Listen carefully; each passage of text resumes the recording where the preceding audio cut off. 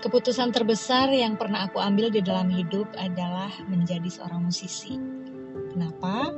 Karena dengan menjadi seorang musisi, aku bisa membagikan banyak sekali hal yang indah di dunia ini melalui musik.